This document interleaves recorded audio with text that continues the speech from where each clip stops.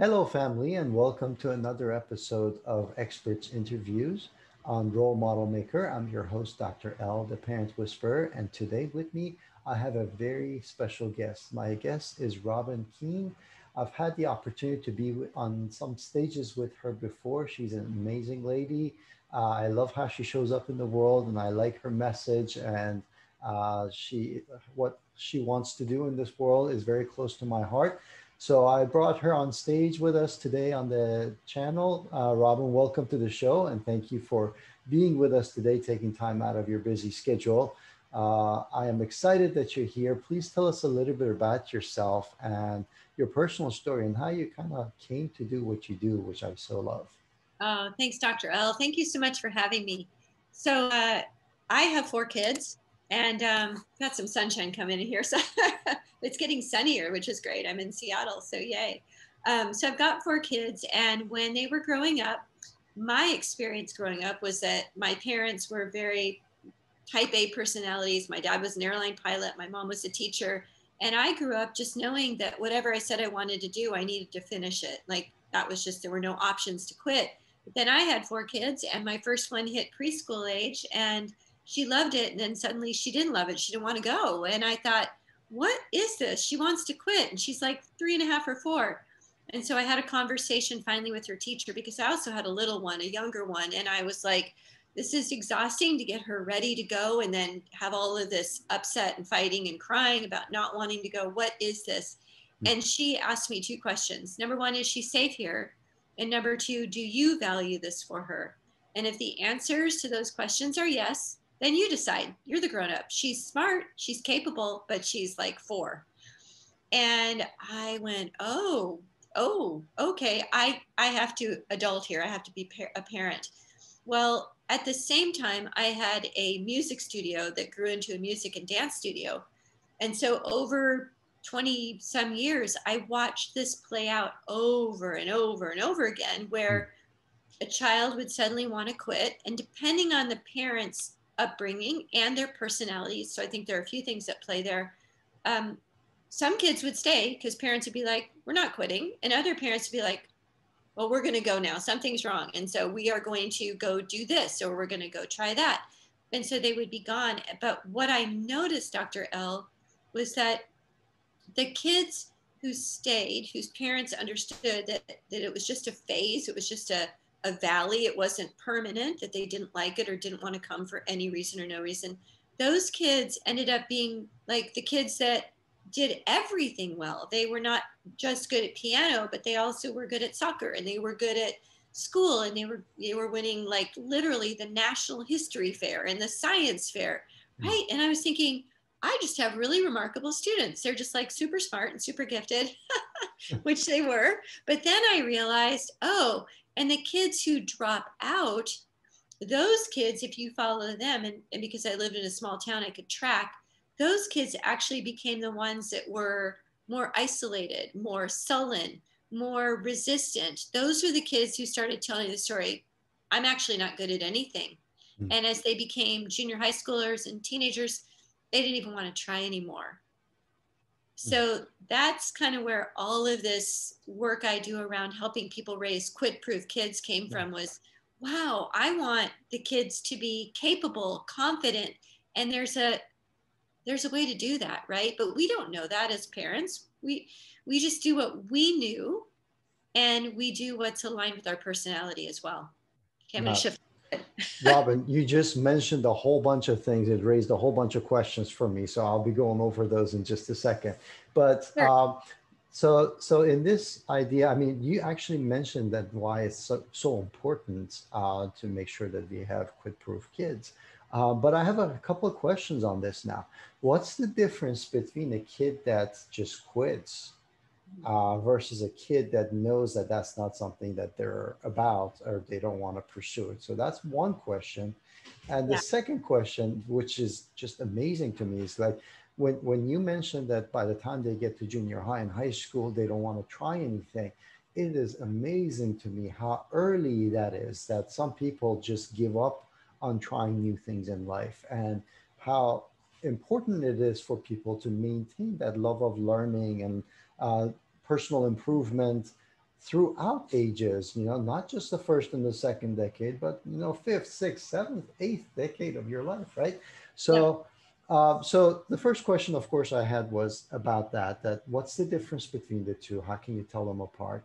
And then the second part of it is uh, that with the kids that uh, are staying with the program, how do they know when is enough enough? Like if they're pushing themselves uh, but it's not necessarily where they need to be pushing themselves or do we make that call? Or how do parents make that call of where to push the kids and where not? Okay well those are great questions. So the first question though is about you know is your child actually doing the right activity? So here's what i believe and i can give you an example. Um, i believe when kids are really little you as a parent have an opportunity to make a decision about what they're doing.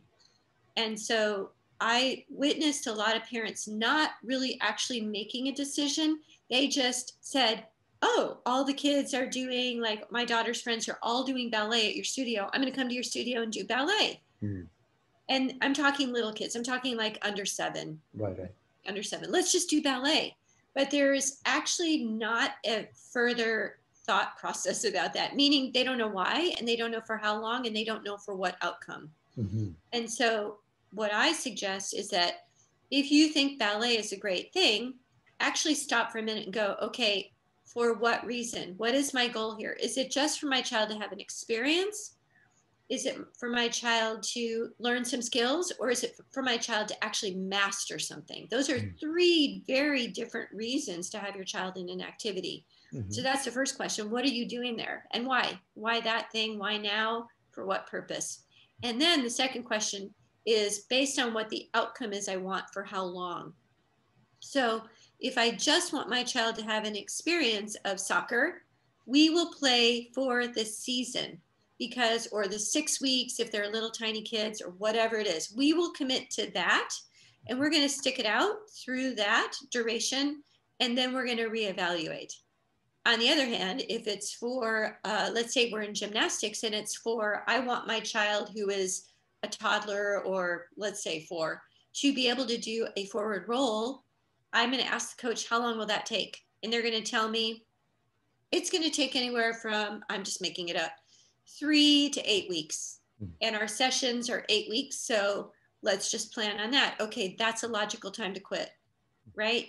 But if I say, like my parents, I want my daughter to play the piano. Well, I've been teaching piano for over 25 years. The method I teach, you can play really quickly, like within a couple of weeks, you're playing songs. But what I had and what my parents had in mind for me, I tr- traditional lessons, it, it took years, right? So they were committed. So I stuck with it. However, the story I want to tell you is that um, actually what happened was I played by ear from a very, very young age. and so my parents went, oh, let's get a piano. So we had a piano in the house from the time I was three.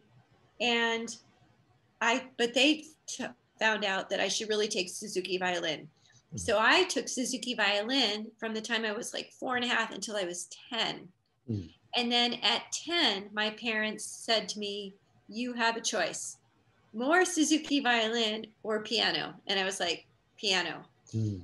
So there was a time, they knew my heart. They knew I really wanted to play the piano, but they also saw me gaining skills from violin. Mm-hmm. But then they gave me a choice. So your second question or part of your question was like, when do you let, when do you know this isn't your kid's thing and let them do something else? Well, so I think there are two parts to that. Well, I think there's one big part, which is being present with your child and knowing and witnessing what is it about this that's working for them and do they have another thing that they really know that they want to do? And when kids are little they just want to try everything right? Mm-hmm. they haven't right. had anything go wrong or done not been good at something. So kids are very willing to try lots of stuff. Right. It's right? the newness factor right? Try something new just to see but to get pulled into the newness factor before a child has actually gained uh, an outcome, like reached a goal, finished something, if you are constantly looking for the newness factor, that's when it, you get into the danger zone because mm. a child who is who, everyone naturally think about any long-term relationship you've had at some point you know you went into it with yay high hopes and it's wonderful. And then at some point it was just okay and at some point you didn't like it. That's natural that's normal right? So if we take that when your child says i don't want to go this week as something is wrong if you believe that something is wrong and you don't know that it's just part of the peaks valleys and plateaus and you pull them out before they've attained a goal now you put them in something else and the same thing happens again. The newness wears off. They just don't like it some week and you think something's wrong and you pull them out again before they've reached a goal. We start to set up a pattern and that's where we get into the danger zone of kids telling the story because they're children. They don't know better. I'm just not really good at anything. So it's important that we're present we're paying attention. My parents knew I was doing well in violin, but my heart was with the piano. I played it every chance I got. They were aware enough that they could say, okay, you've reached the goal in violin. Now what? That's a good point. Does that make sense? Yeah, absolutely. Yeah. I'm actually very glad. And I know that playing by ear, because I do, versus reading notes are completely different things when it comes to music and requires different parts of the brain. So, so absolutely. Um, so what are the challenges that you typically see out there uh, people facing both on the kid side and then also on the parent side of things in trying to raise kids like this? Yeah so i think the challenges quite honestly that there are a few. One is you know i didn't know just like you don't know like any parent we just don't know. We are not we don't go into parenting and just know oh well, most of us don't anyway. Um, these are the danger zones with activities, right? Like if I let my child quit, I don't think anything is going to happen. We just don't know that repeated quitting, something will happen and it lasts for life, right? Mm-hmm. It's a, a story that we tell ourselves through junior high and high school and college and beyond those years and, and into adulting if we believe we can't finish what we start, if we believe we really aren't very skilled at anything, that follows us forever. But we don't know that. I hmm. didn't know that as a new mom. And thank God for Madeline's teacher, Mrs. O'Brien, who said, you get to choose, like you decide what what you want her to do and for what reason. Thank God for her because that changed everything for me.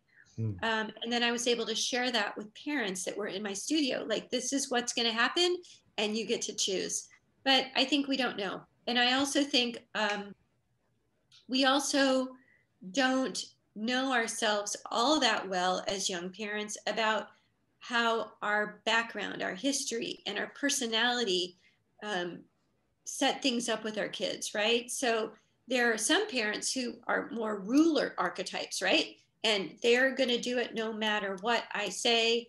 And, and then there's a lack of relationship and we don't know that. We don't know that we're setting up a child who's now afraid of you know having to be a perfect they become perfectionistic in their activities right? There's so many things we just aren't aware of. So around quitting though if parents understood what was getting set up they might be less likely to let their child quit um, prematurely. And prematurely is without having achieved the outcome that they wanted um, so that's really important. I think that parents don't know that.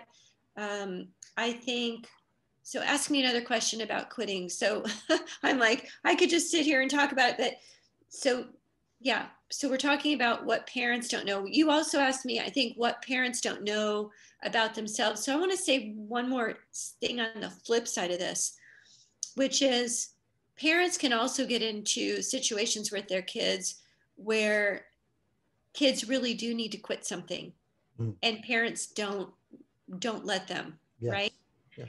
so that was kind of that's what's perking in my head right now it's like you asked me something else and it's the flip side of this right. where we do get sometimes kids that are really perfectionistic and they really begin to push themselves and they really um, are hard on themselves and they really do need to stop something it might not be to stop the activity but parents need to keep an eye out for kids that become perfectionists mm-hmm. because it's not helping anybody when a child um, is really hard on themselves. And so I look at where does that come from?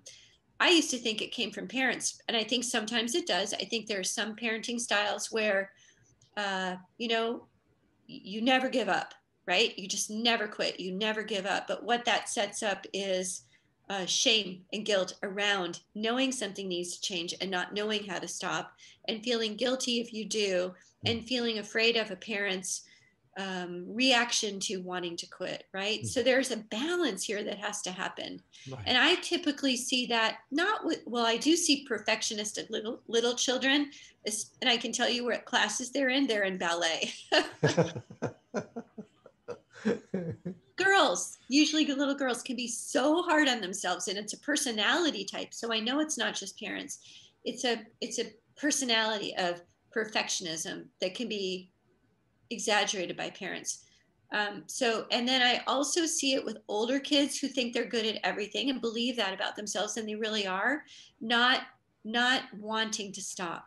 Mm. And sometimes parents need to be the ones that say, "Look, you are you are 14 years old, and you play soccer." I had a child like this, and he was amazing. Eli, he played soccer very well. He did school very well. He was amazing at piano. Everything he did, he did well but I remember when he was about 14 coming into class one day and he had these big circles under his eyes. And he was sitting in class. He was in a group of other kids and he was sitting there and his head tipped back. You know, it was just kind of like, uh, I could see it. And he, at the end of that class, his dad came up to me and he said, Eli's going to quit piano because he's bored. hmm. And I said, uh, if I may, he's not bored, he's exhausted. Like, he is literally exhausted and you're going to need to you know i mean we had a good relationship so i could say this to his dad but you're going to need to make some decisions for him because he can't make them for himself hmm. you might need to sit down with eli and just say you're pushing we're pushing you know we're all pushing hmm. and we're exhausted and you're exhausted and your brother's exhausted by our schedule so what do we need to do to help you pull back from some things and prioritize the most important things mm-hmm right? So they're both sides of it. They're just two sides. Awesome. I mean, I love it. And there's all these scenarios that come up from parents who want to live vicariously through their children and, you yeah. know, force these things to them, to all these other things. But um, without going into all the specific scenarios and everything, what are some of your tips and challenges to actually raise kids that know what they want and also can stick with it so that they can get the results yeah. they want? So I think when children are really little, it's up to parents to make the decision about what they're going to do. Sure, they can ask their three year old if they want to play soccer, but a three year old doesn't even know what that is, right? Like they don't know what that's going to take. Right. So looking around, seeing the different activities your child wants to, or you want your child to do, think about why. What is it that's about this? So if it's gymnastics, great. Gymnastics can build depending on where you go, right? You need to know where you're taking your child like and really find out what their grounding is what do they stand for what's so that's probably first step is like okay what do you want and then what's going to be the place that aligns the most with your goals for your child so it, uh, i work with a studio a gymnastics company in the midwest and they are the confidence building gym so if you say i want my child to do gymnastics go find a place because i want them to gain confidence go find a place that focuses on confidence. Their mission is building confidence. Great. Mm-hmm. So now I know that I'm going to do this thing and I'm going to go to this place and now think about for what reason, for how long. Mm-hmm. Start there. You decide initially for your child. And don't don't do something crazy like we're going to be here for a whole year. Let's say let's be here for 6 weeks or let's be here for a session. Check it out. See how your child does because there are some kids like my grandson who's six, when he was three, he wanted nothing to do with soccer. He was scared of being on a field running around with other kids. So it was one session, and his parents were like, that's probably not the best thing for him. Like, he would be better off in a music class where there's not a big field and there's not a lot of running around, but he can sit on my lap and he can play the drums, right? So know your child and don't lock them into something. Try something but let them know, hey, we're going to do this till it's done. And then when they're done, say, wow, you did such a great job sticking with it till you were done. You can use those words. It starts to let them know, oh, we finished. We did something. It is done, right? Like mission accomplished. That's wonderful to start layering those words into language that you use with your child. So that would be one thing. As your child grows, you can be having bigger conversations like, hey, you've expressed a lot of interest in doing T-ball this year and you've con- you've continued to say that you want it. We watched some games. You watched your brother or friends play and you really want to do it so let's do it. And just so you know what that means is you're on a team. So when you're on a team you have to stay until it's over. Like you can't leave the team. And there are going to be times when you love it and times when you really don't want to go and it's raining and yucky and yeah. And there are going to be times where you just don't really care one way or another and maybe you'd rather do something else. But no matter what we're going to go and we're going to stick with the team and we're going to get it done and it's going to be amazing. And you're going to have fun and you won't have fun but that's okay. And then you do it and then you have again a celebration. It's done. You did it. You accomplished this thing. You hit a home run whatever it was. You put in the effort right? So noticing your child's effort that's important. Their their stick to itiveness their quit proofness that's great. Say something about it. So i think it's important to do all of those things, right? And acknowledge the accomplishment. And then as they get older, right, you also said something about, well, how do you know when it's time to quit? Well, I've had, you know, my own four kids where they've wanted to quit. And I'm sure that we don't quit in a valley. That's one of the most important things. I never let my kids quit when they weren't happy in an activity.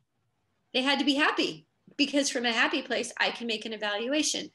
Oh, yeah, I do love it. I'm happy and I know I want to go do this other thing now. That's a much better place to make a decision than I hate it. I don't want to go. I want to quit. Well, okay. Well, we all want to quit when we hate something. we get back to a happy place and make a, a logical, reasonable decision about it now from a good space, not an unhappy space. I love it. I love it. Awesome.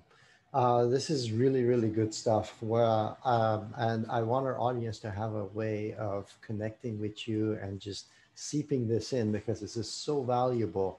A lot of kids, you know, they get to points, especially later on in life. And then there's two parts. One is that what you're teaching right now is uh, having an end goal, having some kind of an exit strategy of before you get into something, understanding the purpose behind doing something.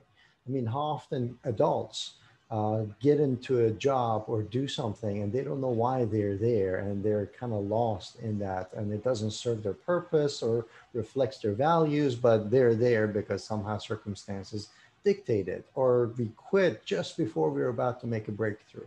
Uh, so these are really, really important concepts and points. And how can people find out more about you, Robin, and what you do and connect with you. Yeah, thank you for that. And you're right. I work with a lot of entrepreneurs and a lot of moms because what you just said is exactly 100% true, right? We say yes to things, we commit to things, from it just like a, a knee-jerk reaction sometimes right? Somebody says can you do this? And you're like oh sure i'll do that. And then you get into it you think what did i say yes for? I don't care if it's the bake sale and you find out yeah i actually don't bake so why did i just say yes to my child's bake sale right? Or or why did i say yes to, to doing this job when it's actually not at all aligned with my skill set or my personality or my dreams and desires? Um, so i love to help adults with this work too, because there are ways to accountably quit things that just free us up to live way more, you know, joyfully and on purpose. So yeah, people can find me a couple of places. So um, Quit Proof Kids, Q-U-I-T, quitproofkids.com is my website. Uh, shortly have a parenting archetype quiz that'll be available there so you can get a better sense of like, how do you parent and why? How is this hmm. set up and what does that do with your child who's probably got a different personality. Um, quitting culture is another place where people can find me. So that's where I work with entrepreneurs and business owners. And you can always find me on Facebook. I have a really fun group called Overdoers Anonymous, where people usually relate to that. They're like, oh, that sounds a little bit like me. I have a lot of people in there. Um, and then I have a Quit Proof Kids, Raising Quit Proof Kids Facebook page where you can connect with me as well. Awesome. Awesome. Well, I encourage you guys all to go ahead and check Robin's uh, Facebook and the information that she has for you. Robin, thank you again for coming here and spending time with us and telling us about these important things. I just love your personality and how you show up in the world and your mission. Uh, and I really appreciate you for being here for, with us. Any final words before we part? Just remember, never quit in a valley. And that goes for you too, because as parents watching your kids go through this, sometimes you're going to be like, ah, I give up. Don't give up. Hang in there and you know, don't quit yourself. Don't quit on your kids. Don't quit on their activities. You're the grown up, so be strong and and teach it to your kids. They learn it from you. Absolutely, I love it. Role model maker. I mean, you couldn't have said it better than that. So thank you, definitely. right, perfect. Awesome. Thank you, guys. We'll be seeing you on future episodes, and if you haven't already done so, please click subscribe uh, so that the new episodes that come, you'll get notified. Have a good one. Thank you, Robin. Bye. Thank you,